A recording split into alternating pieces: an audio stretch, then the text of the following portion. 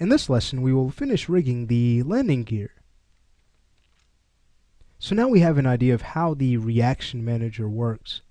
Now remember to truly master this tool you'll need to use it quite often. Remember there are several other creative ways we can use this system. So I'd highly recommend you become more and more familiar with it because it will help you to create better rigs. Alright, so let's go ahead and finish up here. We need to choose our master parameter. This time it's going to be the landing gear front channel, so let's go ahead and navigate to it. There it is. We have a clean slate now. Let's go ahead and add our slave object, which is the landing gear pad. So we'll go ahead and we will add the zero position Z and X. We're essentially adding the same parameters. So next is going to be the zero position X.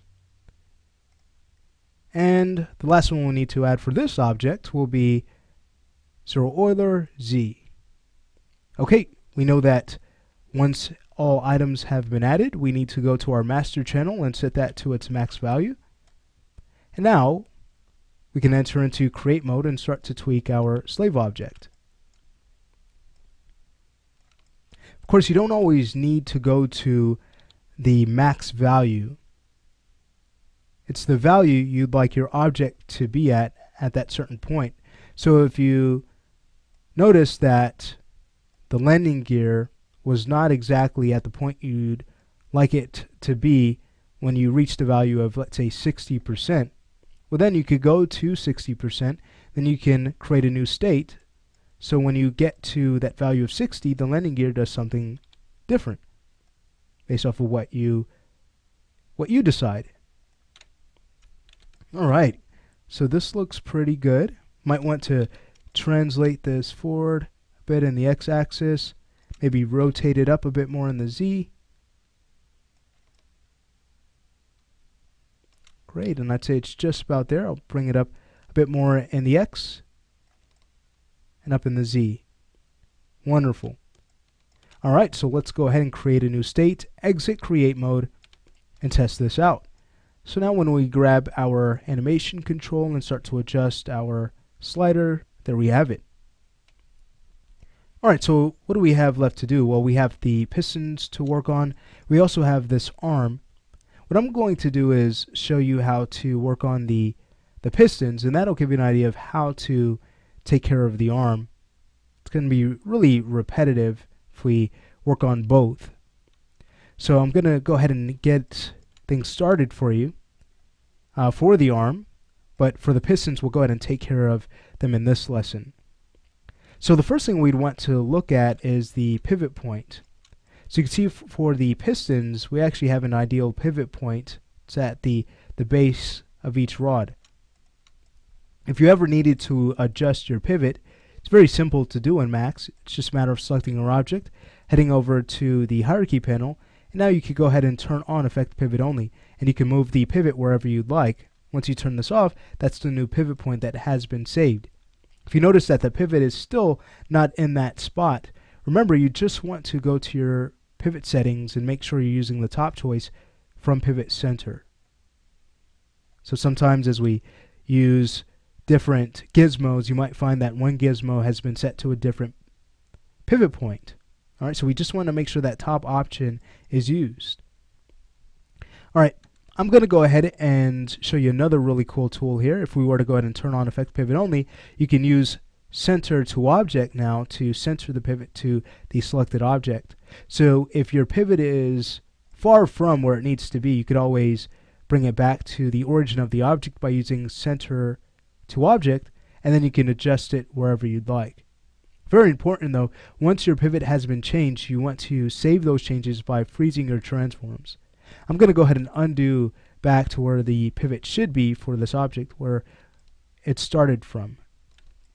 And then we want to go in and make sure that the orange pieces are linked to the silver rods.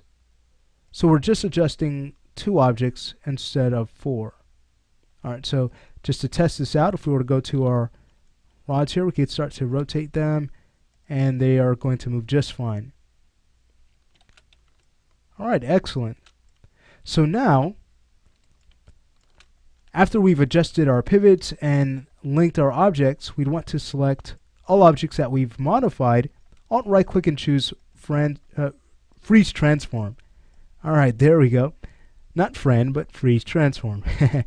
that way, again, all of these changes have been collapsed and that'll make sure that the rods stay in the exact spot they need to be in when we start to adjust things in the reaction manager. Alright, so let's say we go ahead and start to work with the reaction manager now. We only need the silver pieces added, so let's go ahead and select both of them. We need to figure out the two axes we'd like to modify. That's going to be the Y for rotation. For our move tool, that's going to also be our Y axis, so that'll make things easy for us. We already have our master channel set to 0. We need to make sure that it's selected on the top section, reactions. And now we can go ahead and add our slave parameters. So that's going to be transform position 0 y.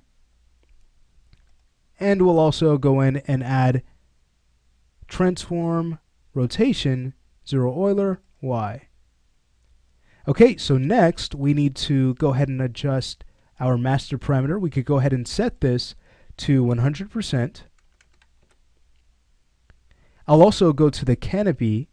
I'm going to go ahead and bring that up to its max of negative 100 so we could go ahead and take a look at the objects we need to adjust. Alright, so here we could go ahead and select the silver pieces of the piston. Let's go ahead and enter create mode. And let's start to adjust these so that we no longer see them. So I might start by just rotating them down in the y axis away from the center of the aircraft. Alright, great. It looks like the orange pieces are poking through just slightly. So now we could go to our move tool and just lift the, the two rods up just slightly. Alright, so can't see them from the cockpit, can't see them from the, the landing gear piece.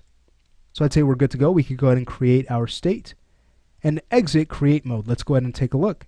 So now when we go ahead and grab the animation control and start to adjust the front landing gear, we should notice some really nice behavior from our pistons. Very exciting. Alright, so we'd want to do the same thing for the arm.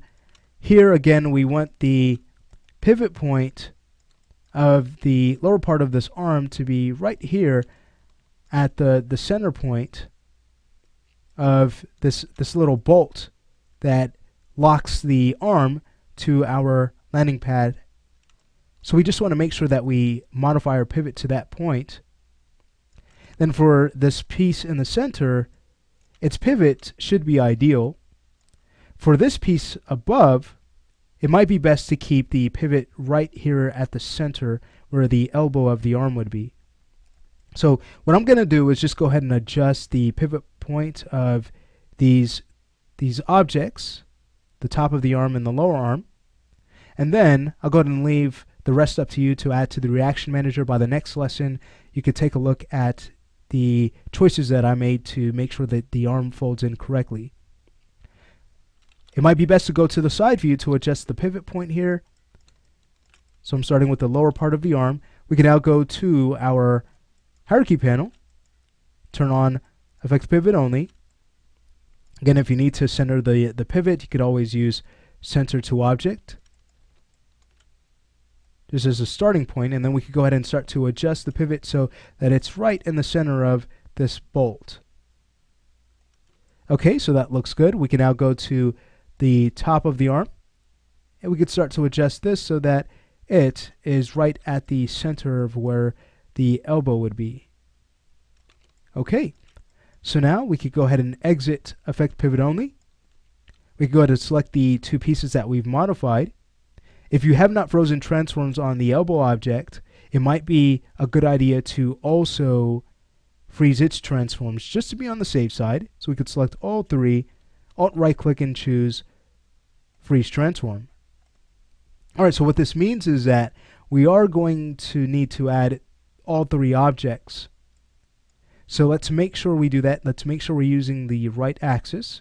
I'll go ahead and stop the lesson here, and in the next lesson we can move on to a new topic.